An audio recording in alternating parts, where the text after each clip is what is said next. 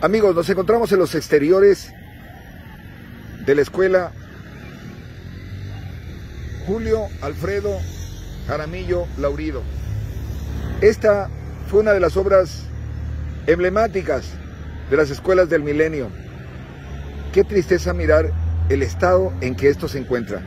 Les digo honestamente, la maleza creciendo a sus alrededores, las aulas prácticamente abandonadas y lo único que veo parecería ser que son unas cuantas habitaciones y diera la impresión de que alguien vive aquí. Ropa tendida, al menos es lo que se ve. ¿Qué pasó con esta inversión? Es la pregunta del millón. ¿Por qué está así? Nunca pudo entrar en funcionamiento.